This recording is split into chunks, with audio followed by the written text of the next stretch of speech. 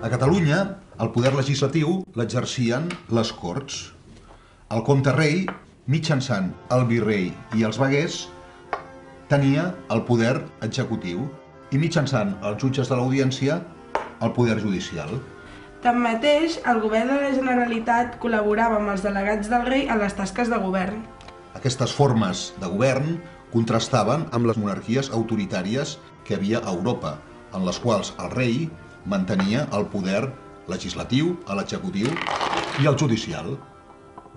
Els governs municipals eren els anomenats comuns, consells, universitats o paeries.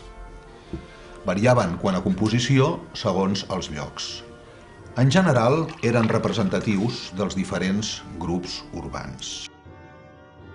A Barcelona hi havia el Consell de Cent, que cada any escollia un Consell de Govern executiu format per un conseller en cap i cinc consellers.